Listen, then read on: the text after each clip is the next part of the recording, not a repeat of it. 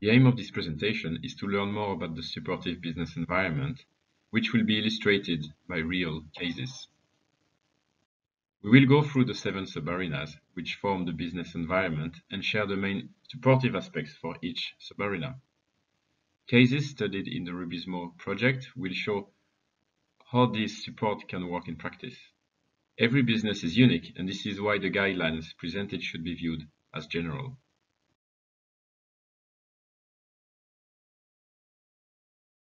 Let's start with funding. It is important for entrepreneurs to have access to a level of funding appropriate to their stage of development. Financial support can range from testing your business idea to supporting your internationalization. Access to funding should be easy, and sometimes some guidance may help, help entrepreneurs find their way to the right funding solution. It is also important to have a transparent and simple application process, as neither administration nor bureaucracy necessarily come easily to the typical entrepreneur. Encouraging and facilitating partnership with other organizations can help make access to funding easier. It is crucial to have a long-term funding strategy to help the entrepreneurs to have a clear vision of the funding sub-arena for the coming years. A good example studied in the Rubizmo project is the biogas Brålanda case.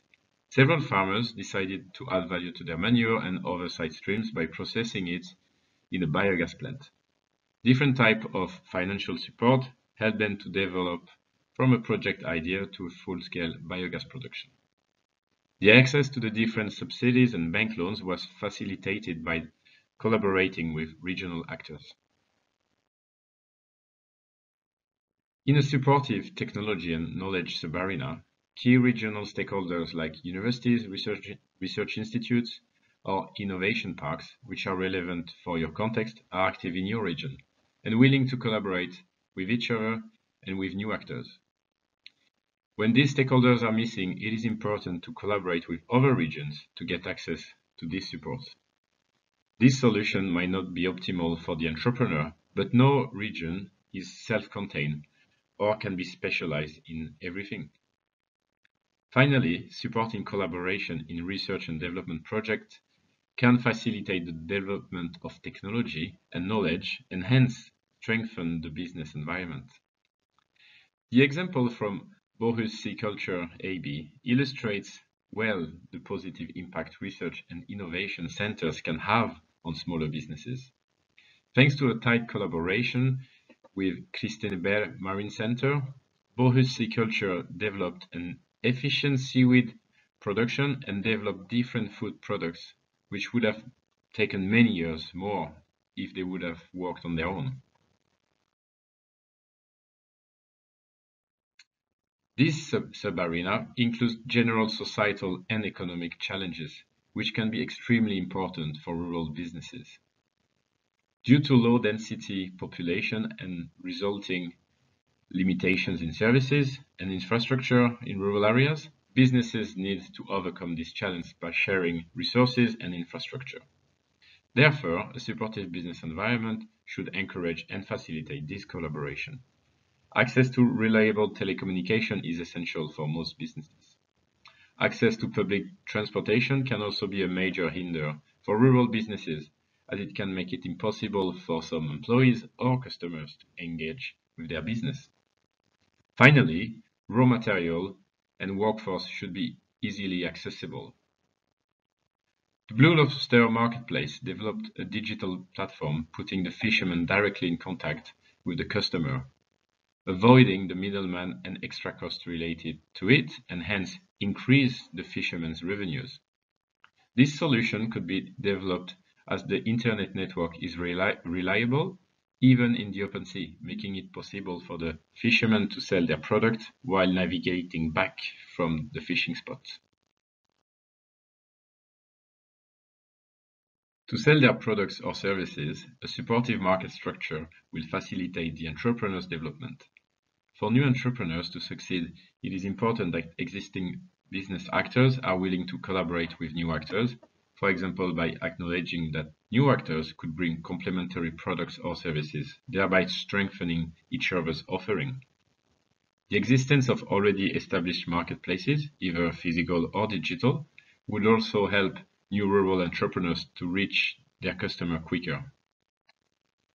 The Kilbeggan farm in Ireland started to process their own production of oat to develop organic oat-based food products. They benefited from existing greengrocers and artisan food shops to sell their products to the right segment of customer. In a business environment that supports training and education effectively, training actors, not only training providers, collaborate to optimize training outcomes. Ideally, comprehensive support offers all type of training needed to run a business successfully, both theory and practical training. People learn in different ways, and adults learn very differently from children. Adding a coaching component is necessary to individualize the training. For the trainee to own the learning, reflective practices are needed. The possibility for training and education is dramatically improved in recent years and developing all the time, and it should not be forgotten. The consumer should not be overlooked here, and right uh, to information and consumer educations are part of an effective marketing mix. Glenking Farm in Ireland selling now different type of experiences on the side of their sheep farm.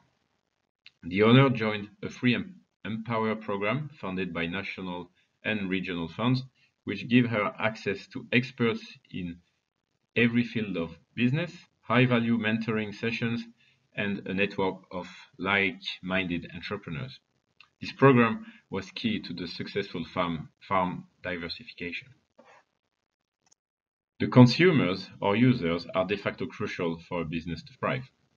First of all, consumers need to share your values and your products or services need to fulfill their needs. Lobbying actors such as NGOs or cooperatives present in the region lead campaigns to create consumer awareness on sustainability issues. The presence of existing consumer groups relevant to your context is a clear advantage in reaching out effectively to potential consumers. ThaiNavi experienced a supportive business environment which facilitated the production and sale of honey, locally made pottery and ecotourism. The local community collaborates and creates added value for the consumers. Maintaining an active dialogue between policymakers and all relevant stakeholders is essential to ensure a supportive business environment. All rules and regulations should be easy to access and interpret, and they must consider emerging and pioneer sectors. This sub-arena is probably the one entrepreneurs struggle the most with. Here we have many examples. For example, the lack of certification of uh, land-based aquaculture in Sweden, lack of authorization for insect-based food in Germany, or issue with categorization of taxes in Romania. Rules and regulations often are seen as a hindering factor. In order to succeed in the development of a supportive business environment, it is relevant to create cooperation with key stakeholders such as public agencies at different levels, research and academic institutes, network clusters, innovation hubs, and so on. These key stakeholders need to be engage in the discussion and development of plausible, well-defined and well-aligned strategies. It is important to have a clear and appropriate governance structure to enable decision-making and share responsibilities to the respective stakeholders. In addition, sufficient resources such as human, time, financial knowledge and expertise need to be assigned by the relevant stakeholders for negotiation process. Finally, these processes enable for continuous development and consolidation of learning and innovation capacity. The guidelines presented are not rocket science. However, looking at over 100 business cases studied within Rubizmo, the fully supportive business environments are indeed rare. Therefore, to move forward, you could start to reflect on the following questions. What are the main obstacles to implementing these guidelines? What stakeholder is missing to reach a well-functioning and resilient business environment? What is the current governance or collaboration structure between the key stakeholders? And finally, what is the role of entrepreneurs in shaping their business environment? We have seen many examples of businesses actively working to improve their business environment in order to be successful. and who have turned these obstacles into opportunities. So you want to make sure you keep up with them. Thank you for your attention and good luck shaping your business environment.